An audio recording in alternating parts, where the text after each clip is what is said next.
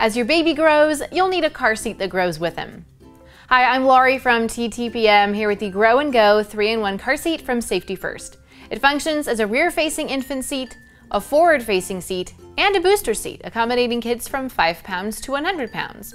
And if you want to compare this car seat with others, then click subscribe below to see all of our car seat reviews. I used this car seat with my daughter for about 9 months, so I'm very familiar with its features, the good and the bad. First up, if you're using this with a small baby, there's a body pillow and head pillow for comfort. Just remove them as baby grows.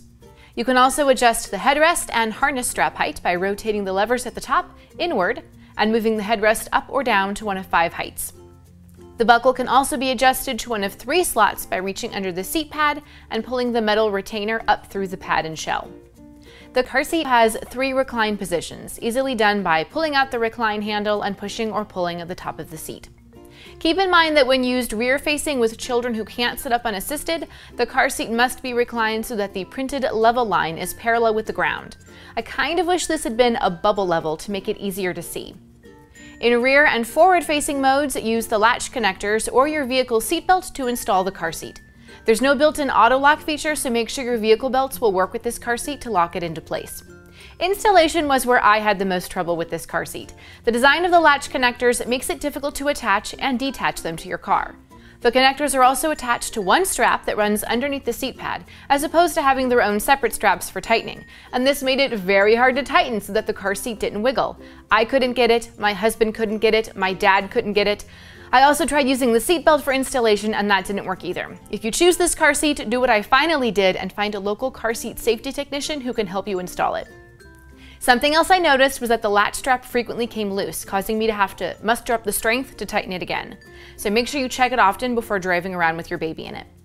And while I'm talking about tightening straps, when tightening the harness straps, it often felt like they were getting stuck on something and that prevented the harness from being properly secured against my child. It was also often hard to press the button to loosen the harness straps. All right, let's go back to some of the car seat's features. It's got a tether strap that hooks onto your car seat's tether anchor when used in forward-facing mode. And when you switch it to a booster, you'll remove the buckle, store the harness behind the headrest pad, and install using your vehicle's seatbelt. Some of the things I like about this car seat are the harness holders that keep the straps out of the way when getting baby in and out.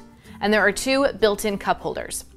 Now, I was so frustrated with this car seat that I replaced it with another brand, but one of the reasons I bought it in the first place was the price. This is less than expensive than other similar car seats, so ultimately it's up to you what features your budget can afford. What do you guys think of this car seat? I'm curious if anybody else has used it and experienced similar issues. Let me know in the comments. Let me recap the pros. Yes, there were some. The harness holders, the built-in cup holders, three modes in one, and the price. The cons are the difficult installation, the printed level line instead of a bubble level, difficulty keeping the latch straps tight, and difficulty loosening and tightening the harness straps. Because of all that, I give this two and a half stars. For where to buy and current prices, visit TTPM and subscribe to our YouTube channels for more reviews every day.